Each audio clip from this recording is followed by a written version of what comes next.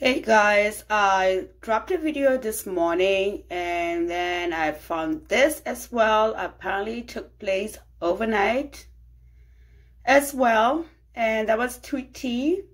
And this text of FFG, I think encompasses two people. For those who don't know, um, I think she's also a mod in FFG's on FFG's channel and a mod on Yappa's channel.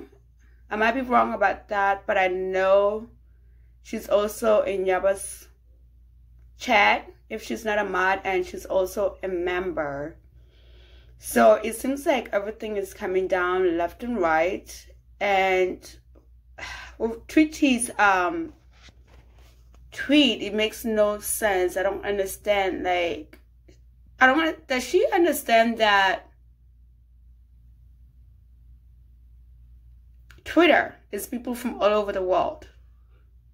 And black Twitter is not just encompassed in America. And black Twitter is not just a fucking space.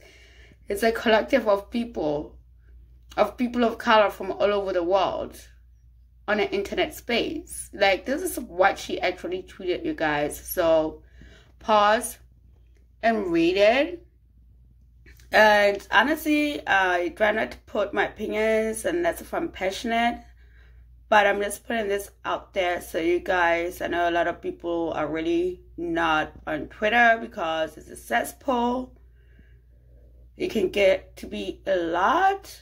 But the one thing about Twitter is you guys need to realize a lot of the fuck shit that happens in girl world goes down on Twitter. So I just thought I'd put this out there.